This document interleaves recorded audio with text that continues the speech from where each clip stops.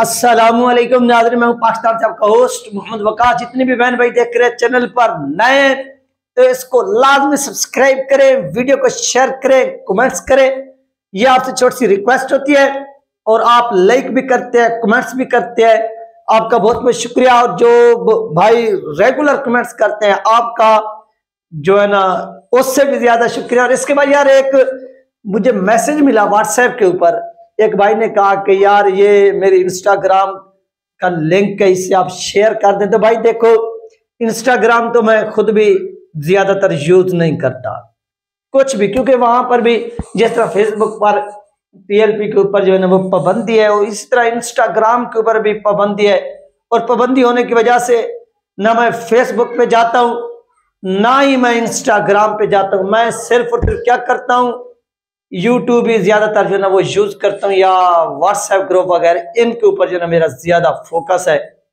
और इसी पर जो ना मैं वो काम करता हूँ। बाकी आपने कहा कि आप यूट्यूब के ऊपर जो ना इसको शेयर कर दें तो इनशाला मैं उसे देखूँगा, जो नेक्स्ट वीडियो मैं अपलोड करूँगा, उसमें कमेंट सेशन में आपका लिंक दे दूँगा। बाकी आपका नसीब कि कोई आपको फॉलो करे, ना करे, वो आपका अपना नसीब है। तो नाजिम चलते हैं आज की वीडियो की जानब। साद सेंट्री साहब की जिस तरह से इलेक्शन जैसे जैसे सर पे आ रहे हैं बड़े बड़े रबते हो रहे हैं और बड़े बड़े दावे भी हो रहे हैं कि इस मरतबा तमाम जमातें जो हैं, वो हुकूमत का हिस्सा होगी। यानी पीपल पार्टी भी हुकूमत का हिस्सा नू लीग भी हुकूमत का हिस्सा और मौलाना फजल रहमान साहब भी हुकूमत का हिस्सा, सब लोग। तो फिर अपोजिशन की बेंच पर कौन बैठा होगा? अपोजिशन की बेंचों पर जिसको बिठाने की तैयारी की जा रही है, अगर मेरिट पर इलेक्शन होता है तो वो टीएलपी होगी। जो अपोजिशन की बेंच पर बैठेगी और वहाँ पर अपना जो किरदार है वो अदा करेगी, क्योंकि टीएलपी जब अपोजिशन के अंदर पहुँच गई या पहुँच जाती है तो जिस तरह से ये इन हुक्मरानों को नंगा करेंगे अवाम देखेगी।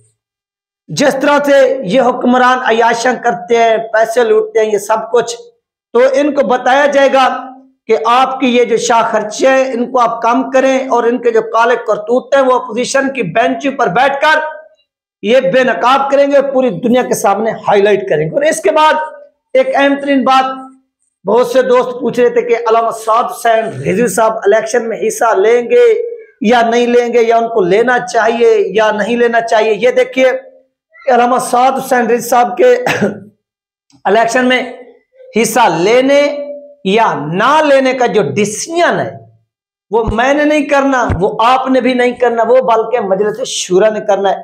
जो शूरा फैसला करेगी, अलामा साद हुसैन रिजवी साहब जो ना, उस पर अमल करेंगे। अगर पीछे माजी को देखा जाए 2018 के इलेक्शन में, अब सब लोगों ने देखा कि अलामा खादिम हुसैन रिजवी रहमत जो थे, वो इलेक्शन में नहीं उतरे थे, उन्होंने इलेक्शन में हिस्सा नहीं लिया था, बल्कि उन्होंने क्या किया था?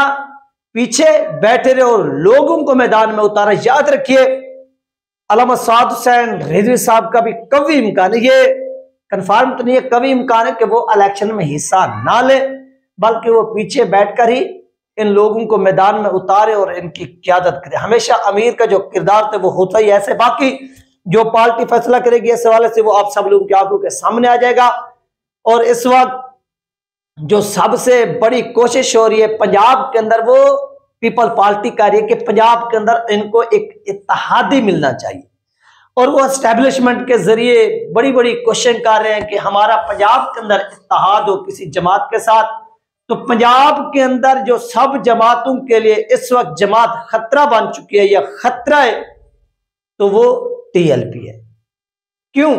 कि टीएलपी पंजाब के हर हलके में मौजूद है। आप जहाँ पर भी चले जाएँ, मैं बताते खुद अपने, यानी एक अपने डिस्ट्रिक्ट से हटकर मैं बात करूँ, और डिस्ट्रिक्ट में भी मैं गया, जब मैं वहाँ पर गया तो उन डिस्ट्रिक्ट की बस्ती में, यानी जिस तरह वीरान जगह होती या वीरान गाँव आ जाते हैं, वहाँ पर आप चले जाए ना, शहरी एरिया से सिटी एरिया से छोड़कर तो टीएलपी का जो वोट है वो शहरों की निस्बत देहातों में ज़्यादा है। ये मैं आपको आज हंड्रेड परसेंट ठीक बात करूँ और इसके ऊपर काम करना चाहिए कि यही वोट जो आपको देहातों में तो मिलता है, इससे आप लोग कन्वर्ट करें कहाँ पर? सिटी एरियाज़ में, कि ताकि शहरों में भी आपको इससे ज़्यादा वोट पड़े। तो टीएलपी आप जहाँ पर भी जाएँगे आपको मिलेगी, उनका वोटर भी आपको मिलेगा, उनका सपोर्टर भी आपको मिलेगा, लेकिन नून लीग का पीपल पार्टी का आपको ना ही वोटर मिलेगा, ना ही सपोर्टर मिलेगा। हाँ अगर वो होंगे भी सही तो वो अपने आप को छुपा लेंगे, जहर नहीं करेंगे शर्मिंदगी की वजह से। क्योंकि उनको शर्म आती है, जिस तरह से उनके लीडर ने, उनकी क्यादत ने, उनकी पार्टी ने कारनामे संजाम दिए, वो चीज़ इनको शर्म आती है, शर्मा जाती है और इस वजह से वो मुँह छुपा लेते हैं और वो नाम नहीं लेते। और एस्टेब्लिशमेंट भी यही चाहती है कि पाकिस्तान के अंदर इस मरतबा जो हुकूमत बने, वो एक इतिहादी हुकूमत हो। इतिहादी हुकूमत से क्या होता है कि एस्टेब्लिशमेंट अपनी जो ताकत है, वो मेंटेन रखना चाहती है। मेंटेन यानी आप देखें कि उन्नीस सौ सतानवे के अंदर जब नवाज़ शरीफ को डबल अक्सरियत के साथ हुकूमत दे दी गई। तो उसने जो कानून बनाना होता, वो एक बिल लेकर आ जाते थे पार्लियामेंट में पेश करते और उसमें वो तरमीम कर जाते थे और वो बिल पास हो जाते थे। और उसके बाद नवाज़ शरीफ ने अपनी मनमानी की, अपनी मर्ज़ी के फैसले किए। तो उसी चीज़ से एस्टेब्लिशमेंट ने सबक सीखा है। उन्होंने कहा कि नहीं, इस मरतबा या उसके बाद हमने किसी को डबल अक्सरियत नहीं देनी, बल्कि उससे दूसरों का महताज बनाना यानी इतिहाद हुकूमत बनवानी है। इससे क्या होता है कि एस्टेब्लिशमेंट की ताकत वैसे की वैसी रह जाती है। तो ये चीज़ें हो रही हैं इस वक्त, और टीएलपी कंफर्म है कि ये अपने बल बोते पर, अपनी मेहनत पर, अपनी जदोजहद पर पार्लियामेंट में पहुंचेगी और अपोजिशन का किरदार अदा करेगी। बाकी बात रहेगी इतिहाद की।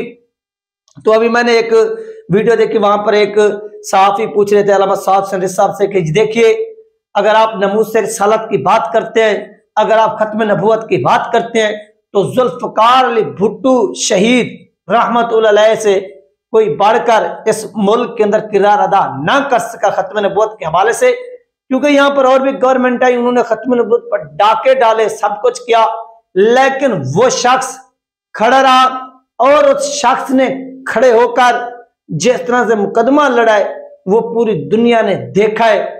और पूरी दुनिया ने क्या देखा कि वो कानून ही बना गया, वो बल्कि आइन का हिस्सा ही बना गया उस चीज़ को। तो क्या आप फिर पीपल पार्टी से इतिहाद नहीं कर सकते? क्योंकि पीपल पार्टी तो उनकी बनाई हुई है, उनके मंशूर पर चल रही है, उनके नारों पे चल रही है। तो इनसे बढ़कर तो खत्म नबूत का कोई सबसे बड़ा, जो है ना, मुहाफिज नहीं हो सकता। साद साहब ने बहुत ही खूबसूरत अंदाज में उनको जवाब उन्होंने कहा कि वो जुल्फकार अली भुट्टो थे। अब जो मौजूद है, इनका हाल आप देख लें।